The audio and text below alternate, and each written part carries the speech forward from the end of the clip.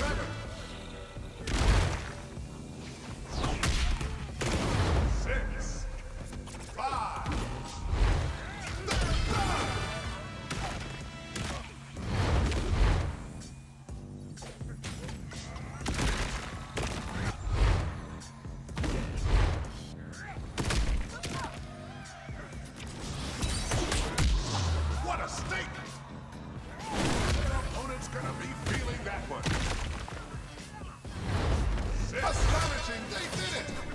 Competitor has really pushed their mind and their body to the limits.